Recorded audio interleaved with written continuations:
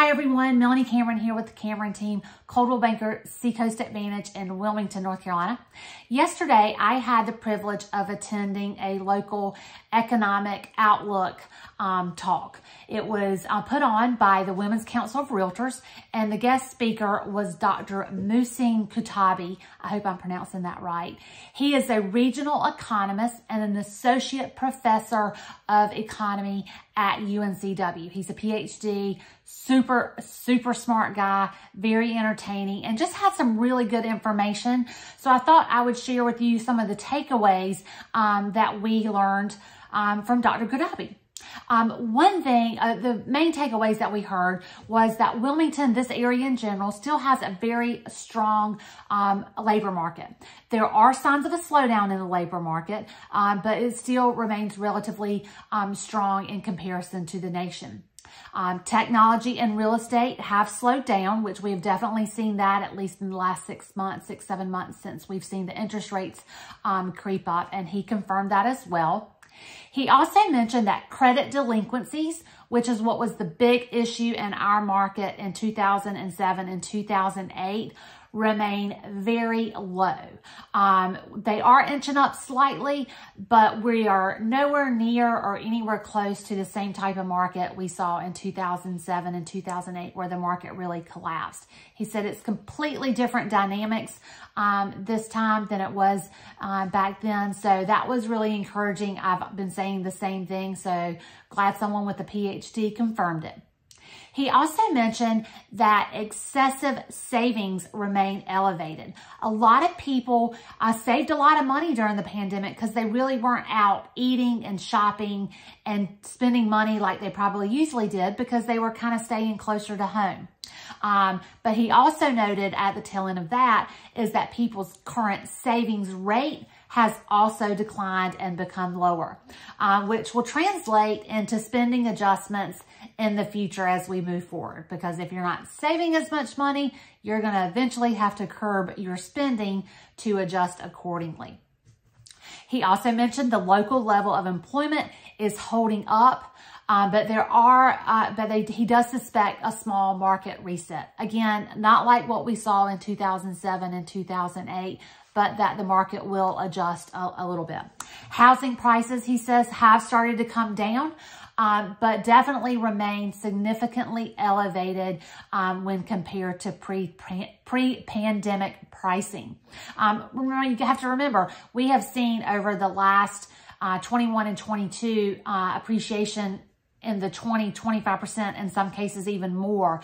And, and, that obviously is not sustainable in the long term. So a slowdown in that is, is really inevitable. And that's, I think, where we're at right now. Uh, he also thought that the higher interest rates will affect the housing demand and supply. Um, and also the migration of people coming in and out of the area. Uh, you know, when people are thinking about trading their 2% interest rate uh, on their current mortgage, 2 or 3% with a 6 or 6.5 or 7%, gives them a little more pause about uh, coming in or making, making a move. People are still doing it. The rate of it has just slowed down a little bit. So those were the main takeaways from Dr. Guettabi's um, talk yesterday. He also shared some interesting facts that I thought were pretty cool that I wanted to share with you too. He did say that the job market here locally is still very strong. In fact, more than 14,000 jobs have been added to the local market here since 2019. I thought that was a really, really strong number. Uh, he did too. Also, the population in North Carolina has increased by 259,559 people uh, between 2020 and 22. And 96% of that for from people that were migrating to the area, so new to the area.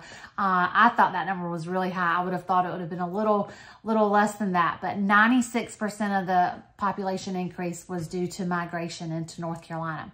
He also mentioned that between New Hanover, Pender, and Brunswick County, those three counties accounted for 4% of the population of North Carolina in 2020.